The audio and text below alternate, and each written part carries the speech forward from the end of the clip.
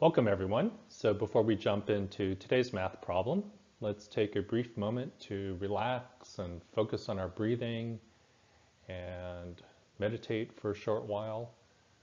So wherever you are, sit up tall with your spine nice and long, your feet flat on the ground and your hands are on your thighs, either palms facing down or palms facing up and you can even have your index finger touching your thumb, sort of in an okay gesture.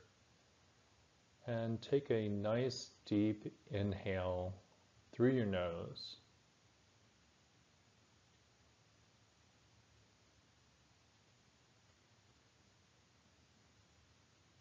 And exhale slowly also through your nose.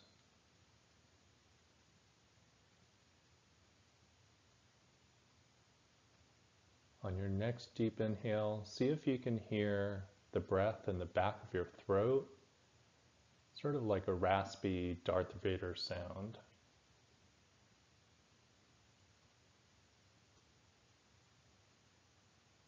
And exhale slowly also through your nose.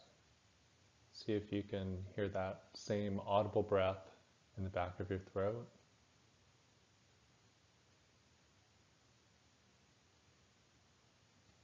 On the next inhale, take a slow, deep breath through your nose, feeling your sternum and chest rising and your lungs filling, your abdomen filling.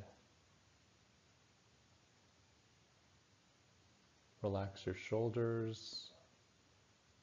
Exhale slowly through your nose.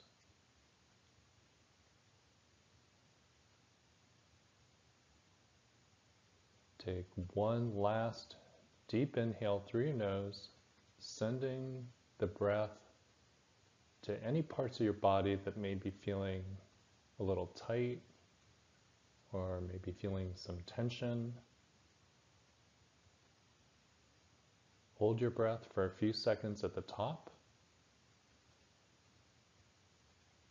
and see how slowly you can exhale through your nose as you observe the tension and tightness releasing and creating a sense of calm and gently open your eyes.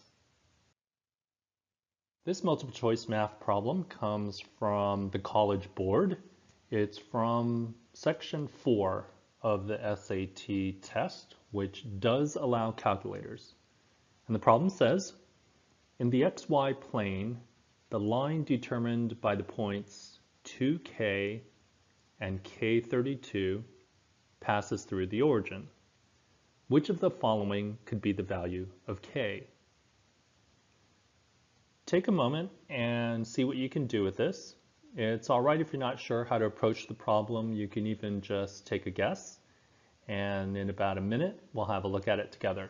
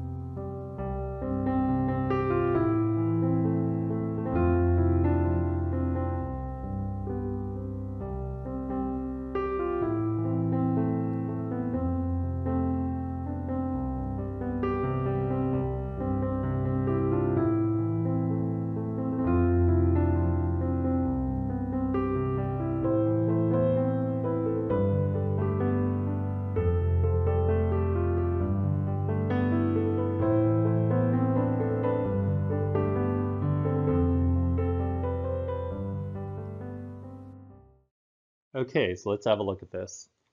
We have a line, and there are three points that lie on the line. We have 2k, k32, and the origin. And I love the origin because its coordinates are 0, 0, and that makes it easy to work with. Drawing a picture can often be a great shortcut, one that can help us easily see the relationship between the pieces of information. So one important piece of information is we've got the origin on the line. So let's just draw the origin there, 0, 0. And then let's work with another point, 2k. So there's 2. And I don't know what the value of k is, but let's just assume that it's somewhere on the y-axis, like right about there. We don't know what its specific value is. And 2k is on the line. All right? And you'll see here how drawing is helpful and this is going to be totally not to scale, right? So I've got K32 as my third point. So let's say that K is there and 32 is going to be way up here somewhere and we have our line. When you have a line, it has a constant slope. So any pair of points is going to give you that value of the slope. So the slope from the origin to the first point, that purple line segment, it's going to have the same slope as this blue line segment. All right. And you can see here that, you know, my scale is off. I sort of, you know, the points are not plotted precisely, but this is meant to be a conceptual picture. So let's take the slope of the purple line segment. From the origin, its rise is going to be k units. Rise over run is going to be k over this segment here is 2, right, from 0 to 2. So its rise over run is k over 2. Now let's look at the blue line segment.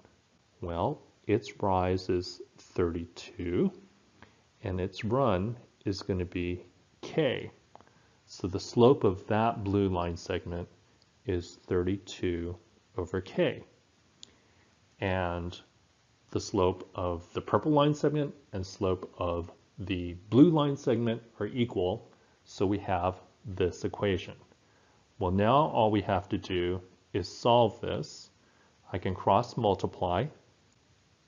k squared is going to equal to 2 times 32, which is 64, which means that k is equal to 8.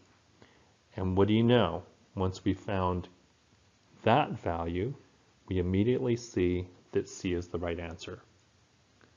So I hope you enjoyed seeing this strategy. The key is that even if you have incomplete information, and in this case we didn't know what K is, you can draw a picture to visualize the relationship between the parts.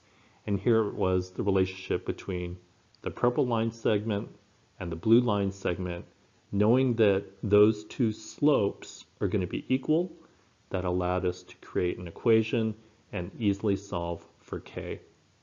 If you have any questions, or if you have any suggestions or requests, please feel free to leave them in the comments below. And if you subscribe to this channel, you can be notified of new videos as they get posted.